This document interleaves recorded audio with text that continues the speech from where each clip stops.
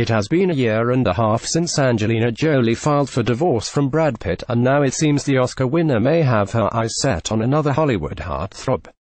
Does Jolie have a secret plan to woo Chris Hemsworth? There are now reports that it was no accident that Jolie sat next to Hemsworth during the Golden Globes.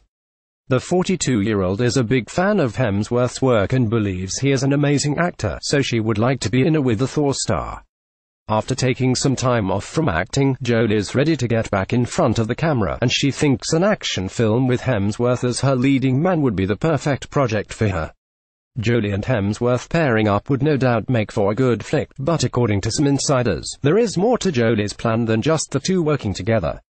There had been rumors that Jolie and Cambodian superstar rapper Prach were an item after the mutual friend, Loung Ung, introduced them.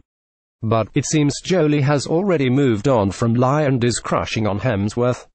The 34-year-old actor is married to Spanish actress Elsa Pataky, and the couple has three children together, but as fans well know, a married co-star is not an issue for Jolie. Back in 2005, Jolie wrecked Pitt's marriage to Jennifer Aniston when they worked together on the set of Mr. Mrs. Smith.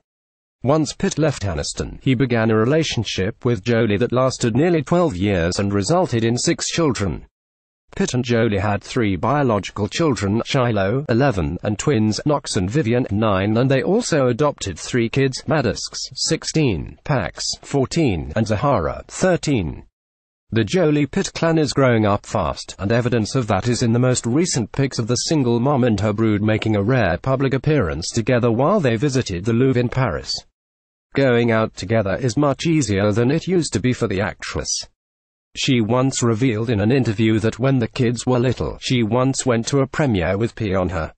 Angelina Jolie said that at the last minute one of the kids peed on her and there was nothing she could do but wear it.